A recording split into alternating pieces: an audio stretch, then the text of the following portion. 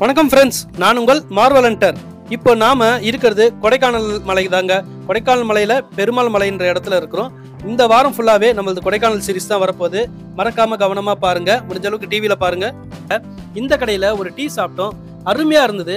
செம்ம சில்லுன்னு இருக்க கிளைமேட்ல சுட சுட அப்பயே போட்டு தராங்க. பஜ்ஜி போண்டா டீ எல்லாமே ரொம்ப சூப்பராக இருந்தது.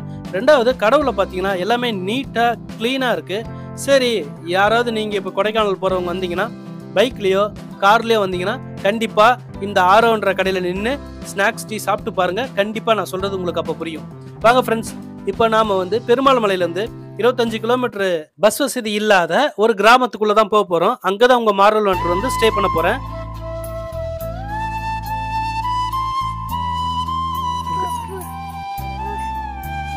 இது என்ன ஒன்று டார்க்காக இருக்கு ஒன்று லைட்டாக இருக்குது ஒரே அது அந்த பூ உதிர்ற கண்டிஷன்ல இருக்கு. ஓ இது ஒரு நாளைக்கு முந்தின பூத்ததா இருக்கு. அப்படி அப்படி. நாலு நாலாவது ஆமா. கணக்கு. முடிஞ்ச அளவுக்கு லேண்ட்ஸ்கேப் வியூவில் பாருங்க. அப்புறம் டிவியில் கனெக்ட் பண்ணி முடிஞ்சா பாருங்க. ரொம்ப அழகா இருக்கும். ஃபுல் வீடியோவும் சூப்பரா இருக்கும். ஸ்கிப் பண்ணாம பாருங்க ஃப்ரெண்ட்ஸ்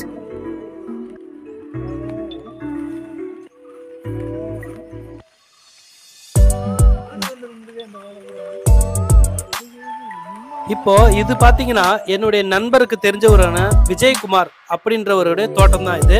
அவருடைய தோட்டம் வந்து சவுச்சவ் கொடி ஃபுல்லா போட்டிருக்காங்க. இது வந்து காட்டுக்குள்ளே விவசாயம் பண்றாங்க ஃப்ரெண்ட்ஸ் இந்த சவுச்சவை பார்க்கறதுக்கே ரொம்ப அற்புதமா இருக்கு. ரொம்ப அடர்த்தியா ஒரு வனம் போல இதுவே ஒரு காடு போல இருக்கு. ஆனா உள்ளுக்குள்ள அட்டைப்பூச்சி இருக்கு. ரொம்ப எச்சரிக்கையாக தான் நடந்து போகணும் அப்படின்னாங்க. ரொம்ப த்ரில்லிங்காகவும் இருக்கு. இப்போ பார்க்கறது நீங்க சவுச்சவ் சவுச்சவை பொறுத்த வரைக்கும் விட்டமின் சி பொட்டாசியம் கால்சியம் எல்லாமே இருக்குது இது கொஞ்சம் குளுமை தரக்கூடிய காய். அதனால இதை வந்து சளி பிடிச்சிருக்கும் போது சாப்பிடக்கூடாது. வேற ஒன்றும் இல்லை ஃப்ரெண்ட்ஸ்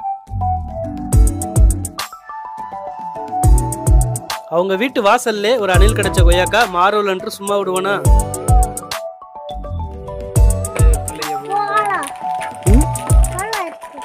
என்னது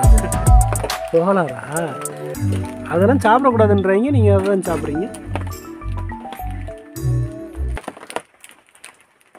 இப்போ உடம்புல பத்துச்சுன்னா ரத்தம் குடிச்சிரும். இப்போ எப்படி இலையில இருக்குமா அந்த அட்டை இல்லைன்னா தண்ணியில இருக்கிற அட்டையா? தரையிலே இருக்குமா அந்த அட்டை? ஓ. இல்லைன்னா இதுக்குள்ள அந்த அளவுக்கு இல்ல. வேற பக்கம் போனா கடுமையா இருக்குது. ஊரை மருந்து எடுத்து வச்சிருக்கான் ஓ. அதெல்லாம் அந்த அளவுக்கு இல்ல.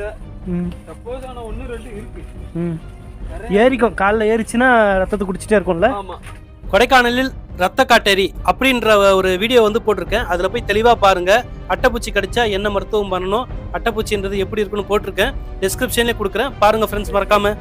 பள்ளத்துக்கு போயிட்டா இருக்கு. இதுல இல்ல. இந்த ஊர் ஒரு மருந்து அடிக்கிறது செய்யறதுனால. இங்கே இல்லாமல் இருக்கு.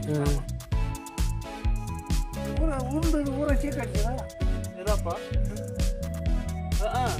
அந்த முளைச்சு இருக்குல்ல? முளைச்சிட்டு ஆகாது இதுலயே. முளைச்ச முன்னுக்கு எடுக்கணும். அந்த எட்டு நாளைக்கு ஒரு புரிந்தப்பா உறுதியை பிடிங்க ஆகணும் வேற ஒரு செடியில் பட்டர் ஃப்ரூட் இருக்கா பாருங்க நல்லா பறிச்சு காமிக்கிற மாதிரி கிட்ட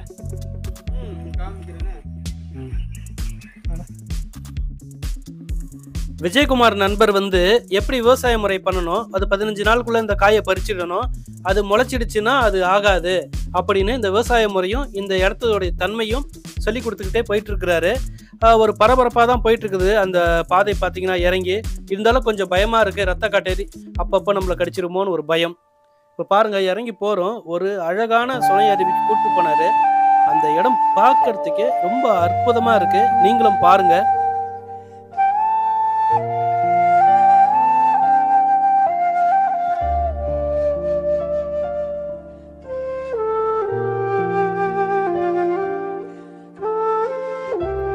உங்களுக்கு இப்படி வீட்டு பின்னாடியே ஒரு அருவி ஓட இருந்தா நீங்க என்னென்ன பண்ணுவீங்க?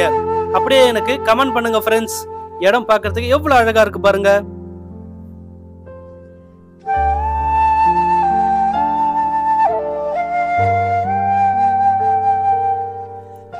நீங்க பாக்குறது சேப்பங்கிழங்கு தான். இதை பத்தி ஒரு பெரிய பதிவு போட்டிருக்கேன். கொல்லிமலை வீடியோவில் போட்டிருக்கேன் சேப்பங்கிழங்கு பத்தி. அந்த வீடியோவும் போய் பாருங்க டிஸ்கிரிப்ஷன்ல கொடுக்குறேன்.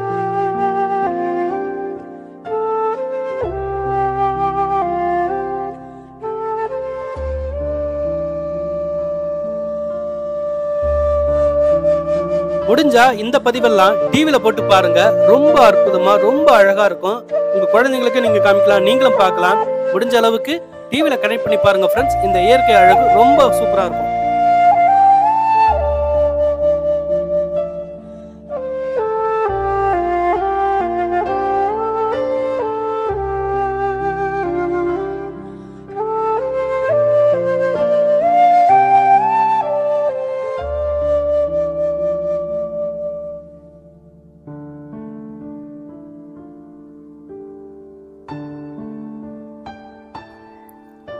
இவர் தான் கர்ணன் அப்பா இவர் வந்து உசிலம்பட்டிக்காரரு.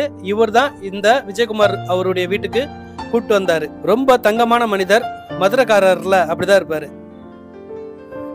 என்னடா ஏதோ ஒரு செடியை காமிச்சிட்டு அதை போய் உடைக்கிறானே பாக்குறீங்களா? இது வந்து பேரரத்தை. அதாவது இஞ்சி வகையை சேர்ந்தது ஃப்ரெண்ட்ஸ் இந்த இனம் வந்து இஞ்சி இனம் தான் இது. சிற்றரத்தில் என்னென்ன நன்மைகள் இருக்கோ பேரரத்திலும் அந்த அளவுக்கு நன்மைகள் இருக்கு. இதுல பாத்தீங்கன்னா ஒரு நாலு வகை நன்மை முதன்மையா நம்ம சொல்லலாம். முதல் வகை சளி இருமல். இது ரெண்டுத்துக்குமே வந்து இது இஞ்சி போல பயன்படுத்தலாம் நாம. அடுத்தது பாத்தீங்கன்னா மூட்டு வலி கைகால் வலி.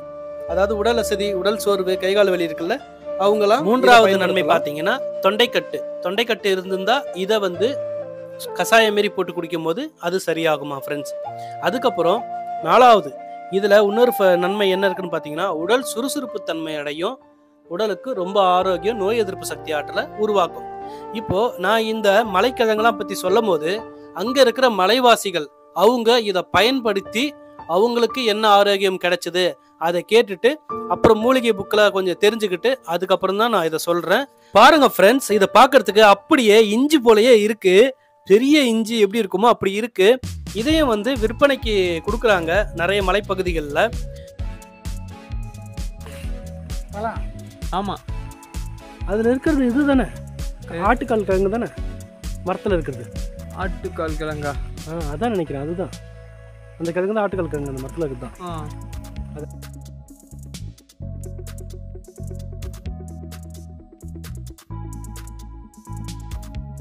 பாருங்க ஃப்ரெண்ட்ஸ் இப்போ ஒரு அற்புதமான மூலிகையை நான் இங்க பார்த்துருக்கேன். அதாவது ஆகாயராஜன் அப்படின்னு குறிப்பிடக்கூடிய ஒரு மூலிகை முடவாட்டுக்கால் அப்படின்னு சொல்லுவாங்க இதை. மிக சிறந்த மருத்துவ குணம் வாய்ந்த அந்த மூலிகை. இங்க நிறைய இருக்கு ஃப்ரெண்ட்ஸ் இங்க இருக்கவங்களுக்கே தெரியல அது. இப்போ அதை பத்தி உங்களுக்கு கேளுங்க. பாருங்க ஃப்ரெண்ட்ஸ் இப்போ நான் காமிக்கிறது வந்து ஆட்டுக்கால் கிழங்கு. இது நிறைய பேருக்கு தெரிஞ்சிருக்காது.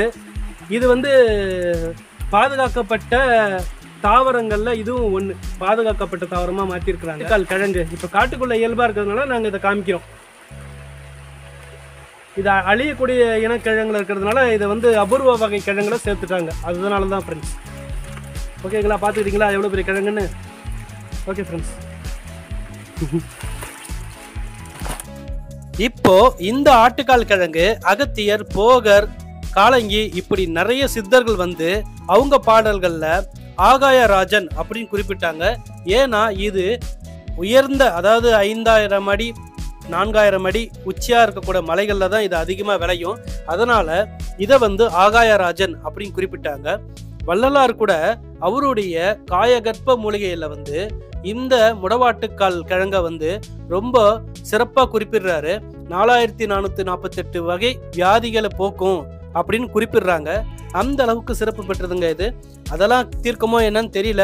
ஆனால் இது வந்து கண்டிப்பாய் முடக்குவாதம் மூட்டுவாதத்தை நீக்கக்கூடிய மூலிகை தான் இந்த கிழங்க. எல்லா மலைவாசிகளும் அதாவது இது கிடைக்கக்கூடிய எல்லா மலைகள்லையும் மலைவாசிங்க கண்டிப்பாக சட்னி அரைச்சி சாப்பிடுவாங்க சூப் வச்சு குடிப்பாங்க ஃப்ரெண்ட்ஸ் நான் கூட கொல்லிமலையில் உடவாட்டுக்கால் சூப்பு குடித்தேன் அதை பற்றி ஒரு ஷார்ட் வீடியோ போட்டிருக்கேன்.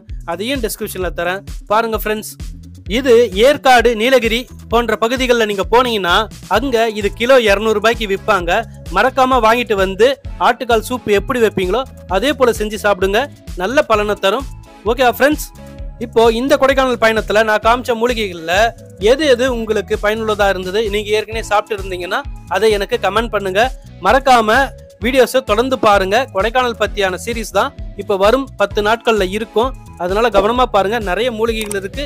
மறக்காம சப்ஸ்கிரைப் பண்ணிக்கோங்க ஃப்ரெண்ட்ஸ் அதுதான் என்னை மேலும் மேலும் ஊக்கப்படுத்தும். இந்த சேனல் வளர உதவும். Bye friends